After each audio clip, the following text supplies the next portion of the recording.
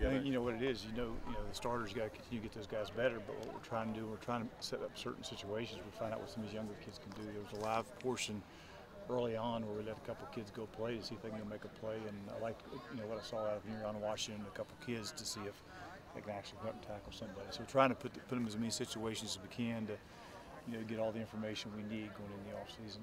I know that, uh, especially after the, the 2016 season going from 10 to 3, you talked about complacency. How do you keep those starters from being complacent and, and really uh, staying on top of their game during yeah, you spring? Just, you just coach them extremely hard, and a lot of you know a lot of it's them. You know, you got to get guys to take ownership in the team, hold each other accountable, and uh, you know, when you can accomplish that, then you got a chance. I think we're pretty good there.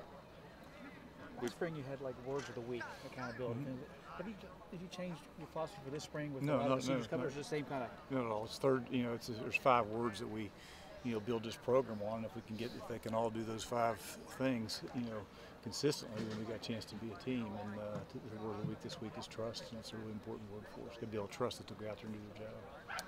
How integral was that toward the early part of, of last season? Then, you know, it seemed like the guys came out from the jump and, and got closer in that offseason uh, leading into 2017, which led to your all success. Well, there's no question. I mean, you know, at the end of the day, it's you know potential gets you beat, and production wins games, and uh, you know you got to find a way to be a, the best team on the field as you can, and uh, in all three phases, and uh, you know work extremely hard to try to get that done.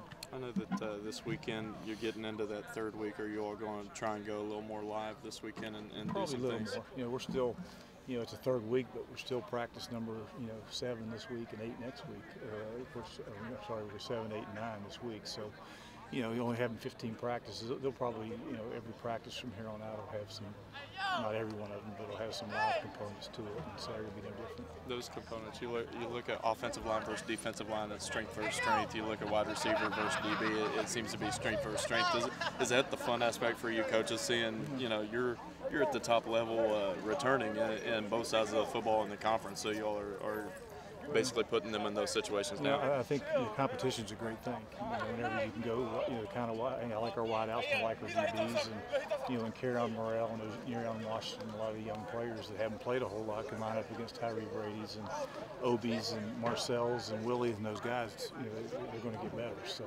that's always important to have uh, you know good people on both sides of the ball so you compete against each other. Okay, guys, thanks.